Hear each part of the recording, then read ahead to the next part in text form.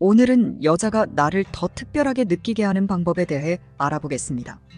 첫 데이트든 연애 후기든 상관없이 남자들은 여자친구가 자신을 그리워하고 생각하기를 바랍니다.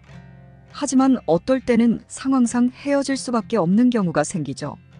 그런 상황에서도 여자친구가 자신을 더 보고 싶어 하도록 만들고 싶은 남자라면 이 영상은 당신을 도울 것입니다. 그녀가 당신을 그리워하게 하는 일곱 가지 방법에 대해 알아보시죠. 항상 그녀 곁에 있지 마세요.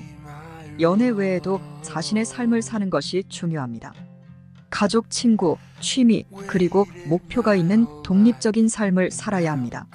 모든 것을 내려놓고 상대방만을 쫓는 것은 당신에게도 좋지 않습니다. 건강한 연애를 위해서는 서로에게 떨어져 있는 시간도 필요합니다. 모든 것을 다 드러내지 마세요. 미스터리하게 행동하는 것도 중요합니다. 특히 그녀의 흥미를 더 유발하고 싶다면 몇 가지 사실은 숨겨두는 것이 좋습니다. 그녀가 당신과 더 많이 있고 당신에 대해 더 알고 싶어 하도록 만드는 이야기만 하세요. 만약 그녀가 당신에 대해 더 알아보기 위해 노력한다면 그것은 그녀가 당신에게 반한 증거입니다. 전화 통화를 너무 길게 하지 마세요. 전화는 데이트 계획을 세우거나 긴급 상황을 해결하고 원거리 연애를 유지하기에 유용하지만 절대 대면 커뮤니케이션을 대체할 수 없습니다. 많은 남자들이 전화에 너무 매달려 결국 여자의 마음을 잃게 되는 경우가 많습니다. 전화는 간단하게 요점만 이야기하세요. 그리고 전화와 문자 메시지로 그녀를 귀찮게 하지 마세요. 그녀가 당신을 그리워할 수 없게 되니까요. 함께 즐거운 시간을 보내세요. 그녀가 당신을 그리워하게 만드는 가장 좋은 방법은 함께 즐거운 시간을 보내는 것입니다. 로맨틱한 데이트를 하거나 맛있는 음식을 만들어 주거나 혹은 멋진 데이트 코스를 준비해 보세요.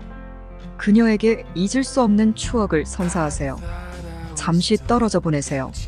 물론 상대방과 함께 있고 싶은 마음은 당연하지만 실제로 떨어져 있어야 서로 그리워하는 마음이 생깁니다. 만약 연속 데이트를 했다면 다음 데이트를 하기 전에 하루 이틀 정도 쉬어보세요. 이 시간은 서로가 함께 보낸 시간을 생각해 볼 수 있는 소중한 시간이 될 것입니다. 또한 만약 실수를 했다면 떨어져 있는 시간은 서로 화가 풀리고 다시 처음부터 시작할 수 있는 기회가 될 수 있습니다. 필사적이지 마세요. 그녀를 잃고 싶지 않은 건 당연하지만 너무 집착하거나 귀찮게 하는 행동은 삼가하세요. 전화를 해도 한두 번 하고는 끊고 무심한 척 행동하세요. 그녀가 당신을 짜증스럽게 여기지 않도록 너무 많은 연락은 삼가하세요. 혼자 있는 시간을 가지세요. 항상 그녀와 함께 시간을 보내려고 하지 마세요. 며칠 혹은 일주일 정도 혼자 있는 시간을 갖는 것도 좋습니다. 이 시간은 당신만의 성장에 도움이 될 것이고 그녀는 당신을 더 그리워하게 될 것입니다.